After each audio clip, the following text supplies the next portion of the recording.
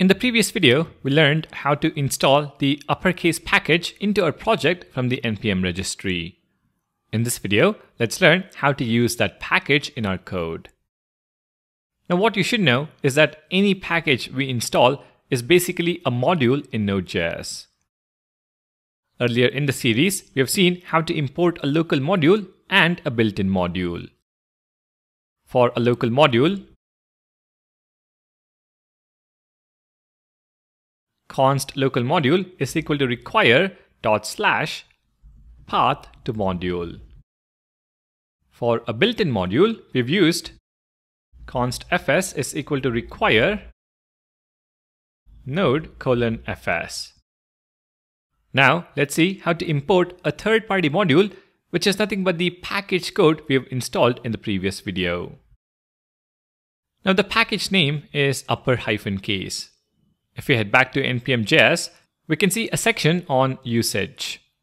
This, however, uses the ES module syntax. Let's convert it into CommonJS.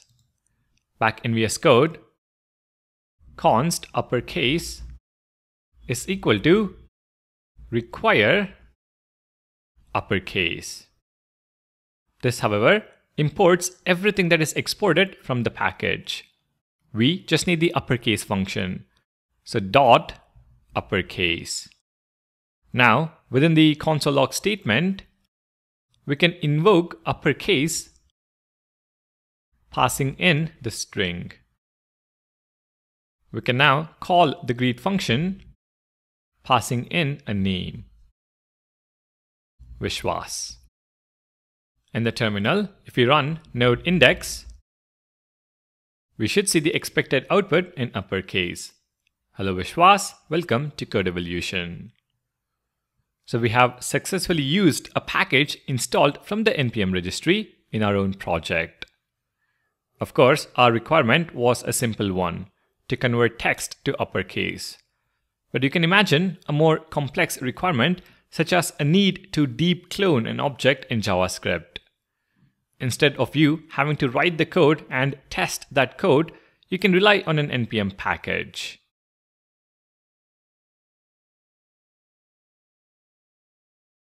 Lodash is a pretty popular JavaScript utility library.